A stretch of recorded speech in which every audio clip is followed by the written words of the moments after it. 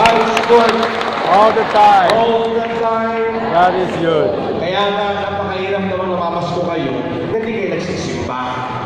Simba muna bago pamasko. At tatandaan po ninyo, ang pamamasko ay hindi lamang yung tungkol sa inaabot. Dahil sa Pasko, ang pinupuntahan natin, yung mga magulang natin sa binyan, our godparents. Pero yung mga godparents ay tatago. Dahil mahirap ang buhay. Pero tandaan nyo, hindi nyo kailangan magtago. Ito na ang pagkakataong baguhin natin ang konsepto ng Ninomantina na hindi ito tungkol sa inaabot na pera. Ito'y tungkol sa pangaral at paghubog. Kamustahin mo? O ano nangyayari sa buhay mo? Turinatin mo o sisahin mo. Gampanan mo ang pangalawang magulang ng iyong mga inaanak. Hindi lang ito usapin pera.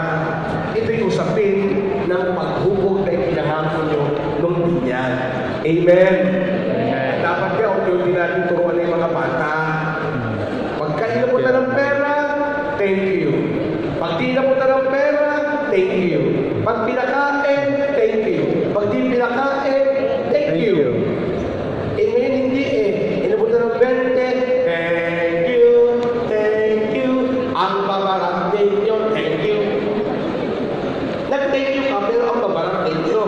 Ano insulto pa yun? Kasi nga, mali ang natutunan ng mga bata. Dahil ito'y family day, ito'y pagdadaw, ito'y pasasalamat. Ang Pasko ay pasasalamat ng mga biyayang tinanggap natin kay Kristong isinilang sa samsapan, kay Kristong ipinako sa krus, kay Kristong muling nabuhay, at kay Kristong babalik sa wakas ang panahon. Palakpakan natin ang Panginoon. Kaya nawakan na natin ang ating mga pananaw. Ang Kristong sinilang tapos na, inaalala lang natin. Ang Kristong hinihintay natin ay yung babalik sa wakas ng panahon na huhusga sa ating lahat. Kaya nga, yung Pasko na tayo masaya, hayaan nyo lang meron o wala. Ang importante, nagkita-kita. Amen.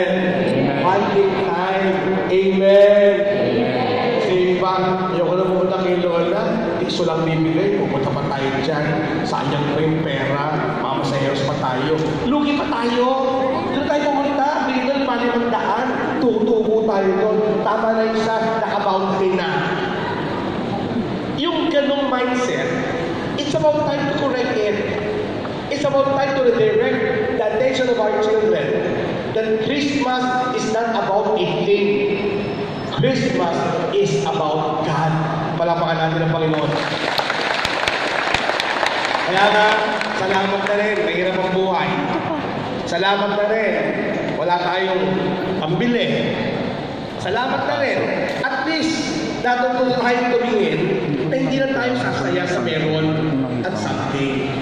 Na tayo sumasaya dahil kasama natin ang Diyos. And that's the main point of Christmas. Kasama natin ang